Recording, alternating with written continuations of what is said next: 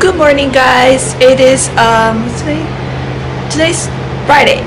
Today is Friday and my brother went to the office to go work.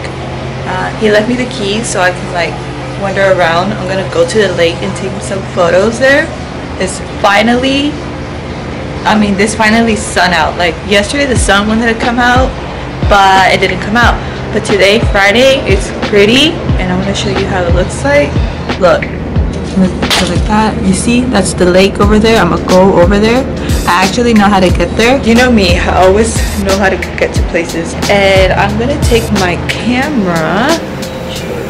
Camera i take my instagram photos with right here. And my tripod. That y'all seen it before when i did that airbnb shoot.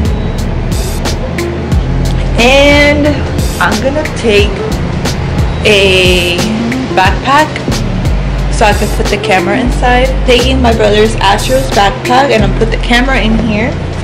Um, I wanted to use this little tripod here, but my Canon's too heavy, so I think it's gonna fall. I usually use this one for um, my phone when I take selfies with my phone.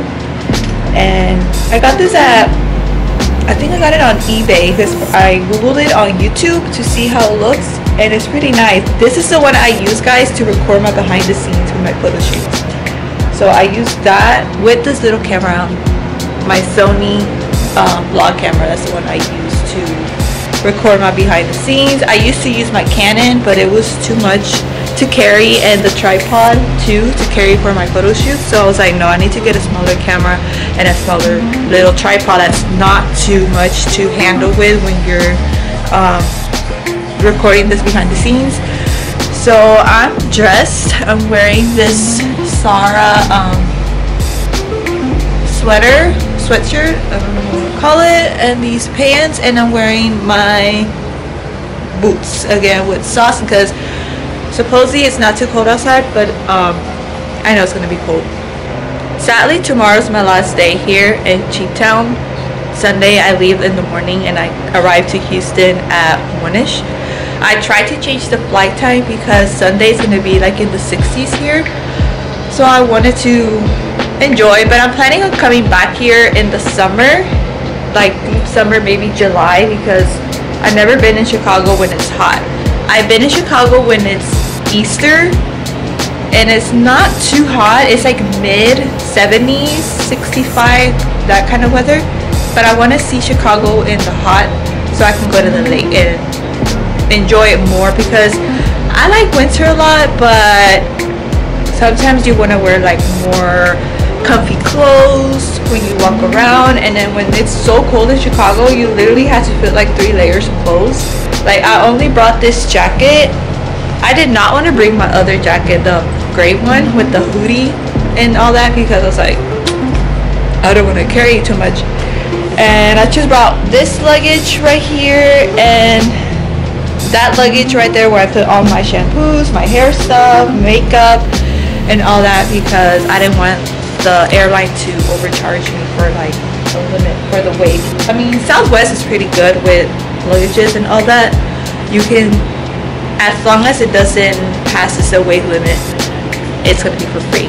Two bags for free? Hey that's what's up. Oh by the way guys that building I showed you guys in the beginning.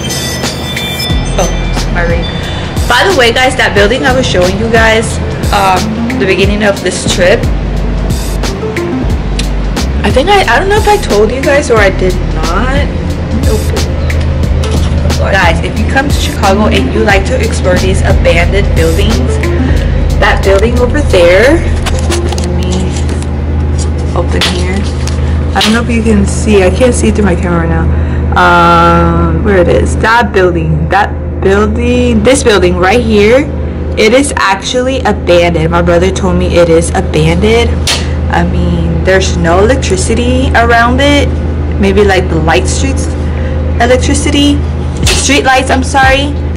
But he did tell me it's abandoned and he, also told me it's haunted. I don't know why it's haunted. Um, maybe because he told me it used to be a hospital it used to be a hospital And yeah, so he said it might be haunted. I tried to look for it on YouTube, but there's too many abandoned places here in Chicago. Something that I think Houston doesn't have. Houston does. uh, Well, let me know if Houston has a lot of abandoned places. I've been to two locations, two or three locations that are abandoned, but I don't know if they're haunted. I doubt it. But if you know any haunted places in Houston, I would like to go. I know the only one I know it's um Bear Creek Park. I made it to the lake. this is the lake, guys. Literally does not look like we're breathing.